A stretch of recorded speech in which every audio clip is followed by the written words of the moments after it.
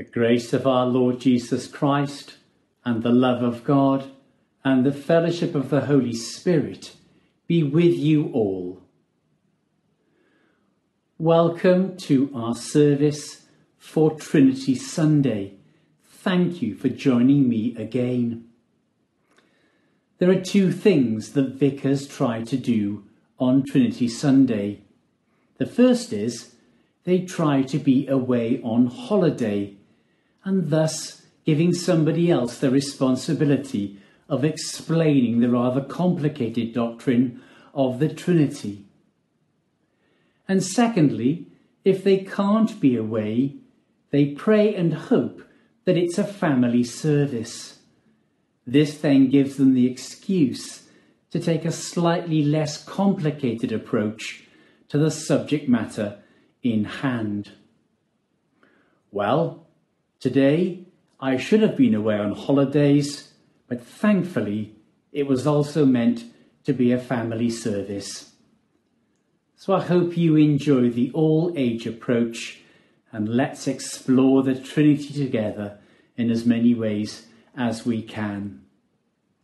But first of all, our prayer of introduction. Heavenly Father, we come together to bring our praises and love to you. We come to hear your word, to pray for the world that you have given to us, and to ask your forgiveness for the times we let you down. We pray that your Holy Spirit will fill our hearts with love, that we may always praise you. Amen. And so we come to our prayers of forgiveness. Loving God, we remember how you came to show us how to love. Yet often we let you down and do not love one another. Lord, have mercy. Lord Jesus, we remember how you call us to follow you. Yet often we do not seem to hear your voice and go our own way. Christ, have mercy. Holy Spirit, you guide us to make the right choices, yet often we are afraid and do what others want.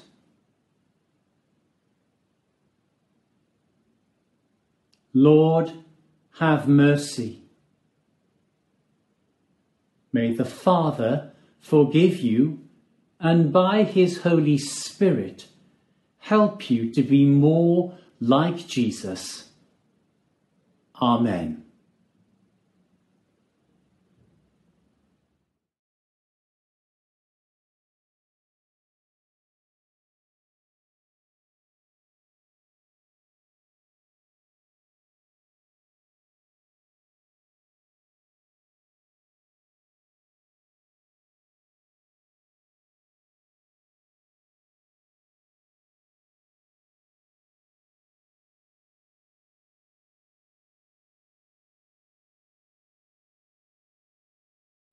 Good morning, everyone. Today's reading is Matthew chapter 28, verses 16 to 20. Now the eleven disciples went to Galilee, to the mountain to which Jesus had directed them. When they saw him, they worshipped him. But some doubted. And Jesus came and said to them, All authority in heaven and on earth has been given to me. Go, therefore, and make disciples of all nations baptizing them in the name of the Father and of the Son, and of the Holy Spirit, and teaching them to obey everything that I have commanded you. And remember, I am with you always to the end of the age.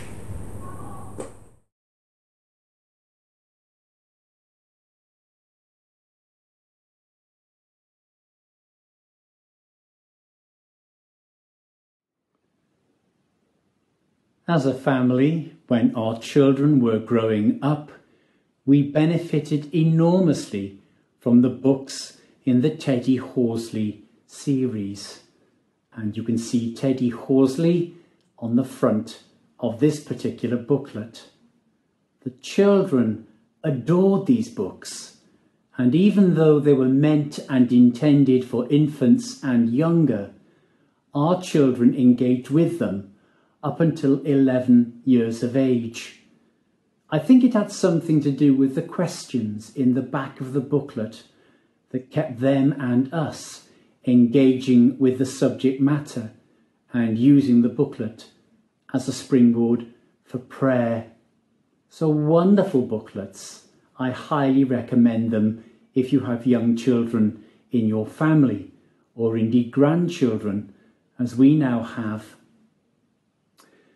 these booklets were written by a very eminent theologian called Professor Leslie Francis, and he was very, very brave at taking the theology of quite difficult subjects and making them accessible and engaging to young children. Now, I've asked Hannah if she would read this particular booklet to you.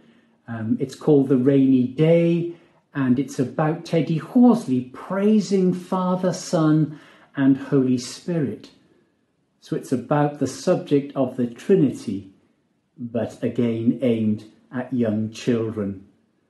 So I hope you enjoy the story as told by Hannah, and I'll somehow get the questions in the back of the booklet to you so that you can have a look what we were discussing when our kids were young. Enjoy. The Rainy Day. Teddy Horsley praises Father, Son, and Holy Spirit. It is a rainy day, and Teddy Horsley is a curious bear. He sees the raindrops and hears them splash into the pool. He watches the cat fleeing through the downpour. It is a freezing day, and Teddy Horsley is a curious bear. Teddy Horsley peers through the icy glass and traces the patterns of the frost. He sees the icicles forming on the snow covered treetops. He watches the ducks sliding on the pond. It is a steamy day, and Teddy Horsley is a curious bear. He sees the steam rising from the freshly watered plants in the greenhouse. He gazes up at the white clouds scudding across blue sky. He watches the haze rising from the wet road. Teddy Horsley peers through the open window and feels the heat of the day. Teddy Horsley knows that the wet rain, the cold ice, and the hot steam are all the same water. It is Trinity Sunday, and Teddy Horsley is a curious bear. Teddy Horsley looks around at the fields, the trees, and the sky. He trusts God the Father, who made the world. Teddy Horsley looks at the cross, the font, and the communion cup. He trusts God the Son, who redeemed humankind. Teddy Horsley looks at the young children, the parents, and the grandparents. He trusts God the Holy Spirit, who gives life to the people of God. Teddy Horsley knows that the Father, the Son, and the Holy Spirit are all the same God.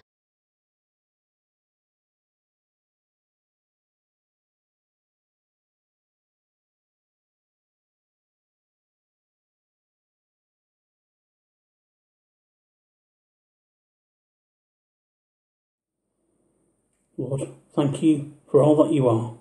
Help us by your Holy Spirit to experience something more of you today. In Jesus' name. Amen. Well, good morning. Um, we're looking at uh, Trinity Sunday today. Uh, strikes fear into every um, every preacher. It's how to preach on the nature of God, three in one. It's complex. How can you explain the unexplainable? So yes, um, here we go. Um, in the day, the Bible and through the creeds of the church, we uh, understand God to be made up of three parts God the Father, God the Son, and God the Holy Spirit. Separate but all one in unity, the triune God. Now, to be fair, that's more or less all I'm going to say on the Trinity, as I'm neatly sidestepping that to look at some of the specifics of our Gospel reading. But I just wanted to give a bit of the background. From the Gospel reading, I wanted to look at doubt and loving obedience. So, two areas, so here goes. In our reading in verse 17, it says, When they saw him, that's Jesus, they worshipped him, but some doubted. It's always great to worship God. And I know at the moment we don't uh, gather in church, but we're in church singing hymns, if it's uh, doing our bits for the church um, and just out, you know, our work, our day to day work, uh, acts of love and kindness. It's all worship to God. But it's also okay to have doubts. We might not always feel full of faith. We might not always feel like worshipping God. And the current times, yeah, are a bit strange. we, we understand that. You know, life is sort of different. Uh, and like for myself, I've started to sometimes feel a bit start to question, well, what's this all about? You know, where's God in, in all this? Uh, where's God in me? Um, yeah, sometimes I feel like I don't feel as godly as I think I should be. But the fact is, God listens and hears us, and He loves us. In verses 19 and 20, Jesus commands His followers to make disciples of all nations, but He also says He will be with them until the end of the age. Jesus gave this great commission to make disciples. He wasn't leaving them alone. He loved them so much that he died for them, and he understood their doubts and fears. For us, Jesus promises that he will always be with us by his Spirit. He won't reject us when we get it wrong or mess up. He is always with us.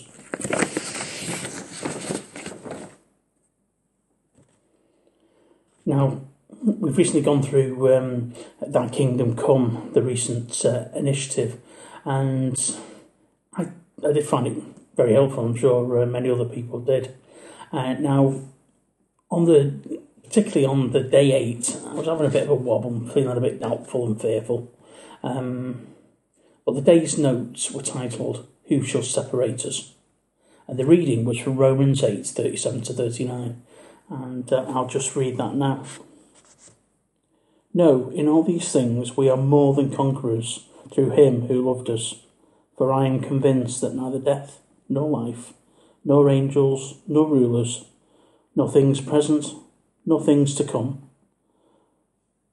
nor powers, nor height, nor depth, nor anything else in all creation will be able to separate us from the love of God in Christ Jesus our Lord.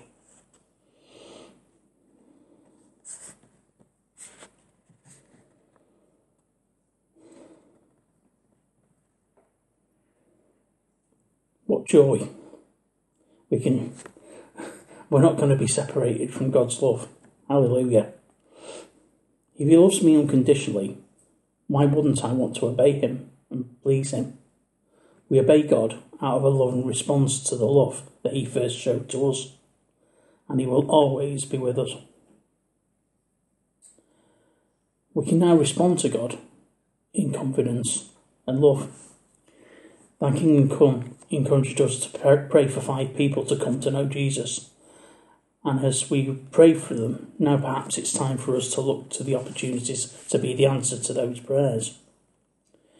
So perhaps in the week ahead, I'm going to sort of slightly reword a, a well known slogan at the moment, but this might be something for us to, to reflect on and remember and, and just to look for ways to um, to respond to God and to um, uh, to be an answer to our prayers.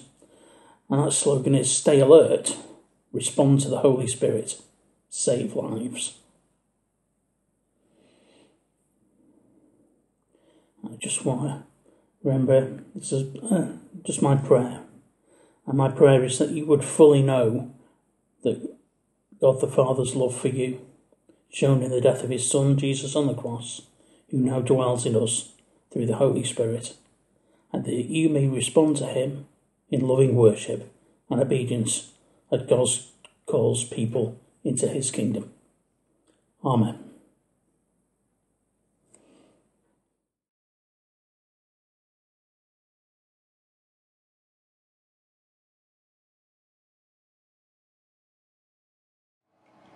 We're going to be lifting up our prayers to God today using a finger labyrinth. As we go into the labyrinth, we go in with our intercessions, and as we come out of the labyrinth, we come out with a prayer for ourselves. At each junction or turn, will bring a new situation or person or people to God. So we start by recognizing that God is with us. And we say, Father, be with us.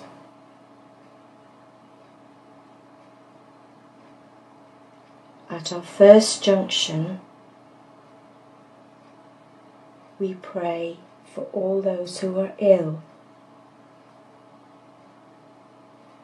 Maybe we have some people in our mind and we pray, may your healing touch be upon them. May your healing touch be upon them.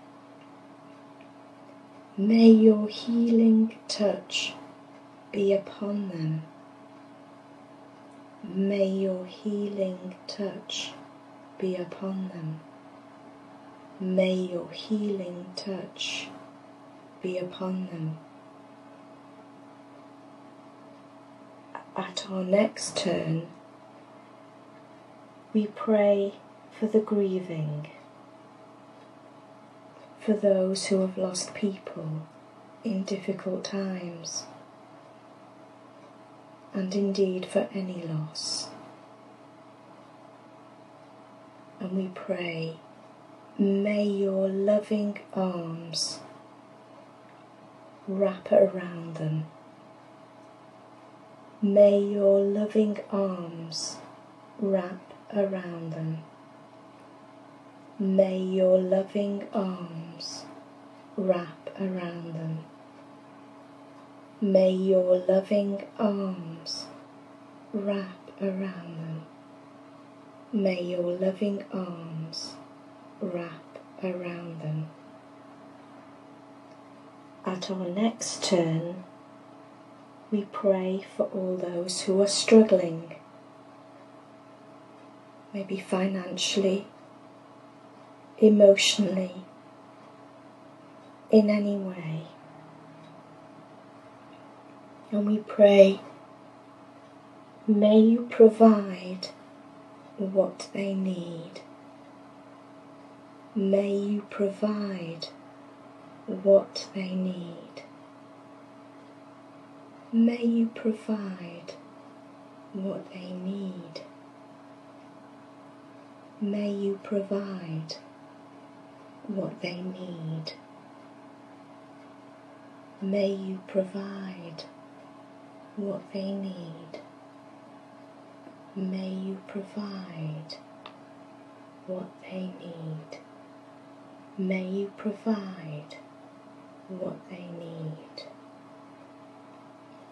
At our next turn, we pray for our leaders. At this time, we think of governments, our government, and those around the world. And we ask, God, give them wisdom.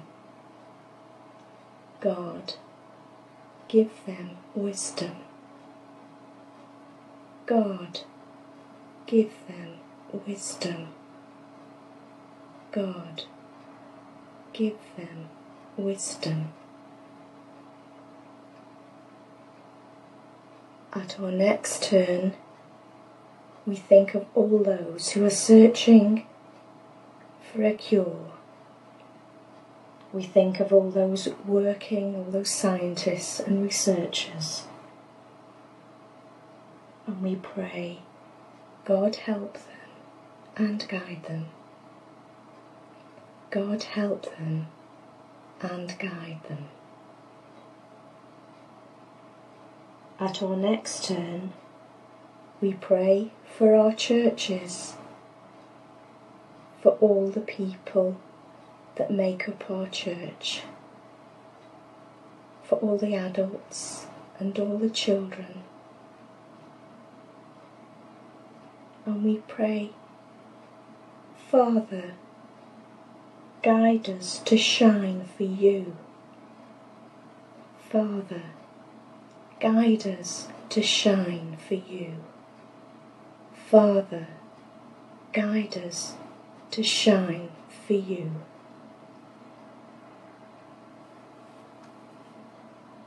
At our next turn, we think about how we want God to break out in this land, in its people and its communities. And we pray, Thy kingdom come, Thy kingdom come, Thy kingdom come. Thy kingdom come. Thy kingdom come. And at this last turn, we want to thank God that He's heard and He's listened as he says in Chronicles, Now my eyes will be open and my ears attentive to the prayers offered in this place. So we say, Thank you, loving Father. Thank you, loving Father. Thank you, loving Father. And as we prepare to come out of the labyrinth, we think of the words from Psalm 17, verse 8 Hide me in the shadow of your wings, which speaks of God's support, care, and protection. Hide me in the shadow of your wings. Hide me in the shadow of your wings. Hide me in the shadow of your wings. Hide me in the shadow of your wings. Hide me in the shadow of your wings. Hide me in the shadow of your wings. Hide me in the shadow of your wings. Hide me in the shadow of your wings. Hide me in the shadow of your wings. Hide me in the shadow of your wings. Hide me in the shadow of your wings. Hide me in the shadow of your wings. Hide me in the shadow of your wings. Amen.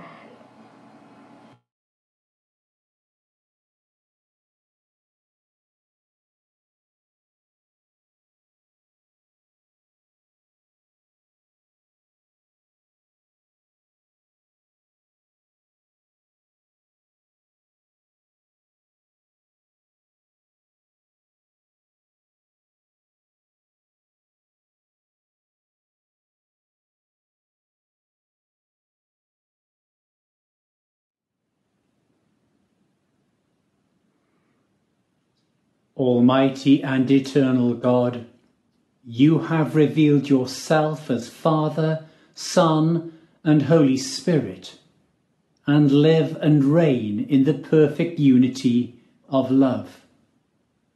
Hold us firm in this faith, that we may know you in all your ways, and evermore rejoice in your eternal glory, who are three persons yet one God, now and forever.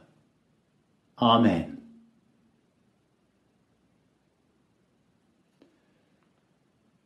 God the Father, watch over you. God the Son, walk with you. God the Spirit, work through you. And the blessing of God Almighty, the Father, the Son, and the Holy Spirit be among you and remain with you always. Amen.